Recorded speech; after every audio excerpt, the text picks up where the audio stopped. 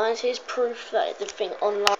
Here's proof that the um how to unban yourself from GTA 5 to go online is real. As you see, I'm back with my back on my level 115 with my, all my money. GTA Online, what that? GTA Online, my name. And if you just want even more proof because you're too dumb to believe that, I'll go to my garage. Playing one-handed currently to show you this. Just wearing my, you know, parachute.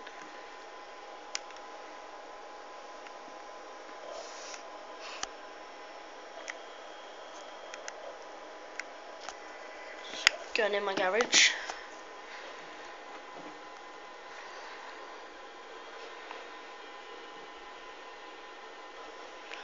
See, here's my garage.